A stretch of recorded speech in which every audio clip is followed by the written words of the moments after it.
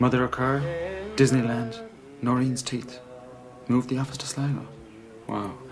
Yeah, um, may I? It's like illegal in LA.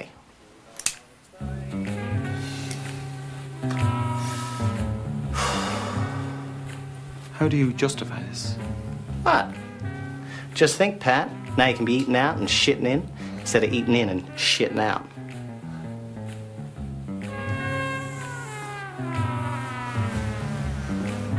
Well, now, there are just one or two other issues. Listen to me, Pat. With Uncle Sam here, you're gonna get a Four Seasons, Dunkin' Donuts, Starbucks, Bloomingdale's. What do you want? You'll all be rich. Or get the Vikings in. They still eat whales, Pat. But we need real jobs here, Todd. Make up your fucking mind. Right now? Right now. Do you think the Saudis worry about jobs?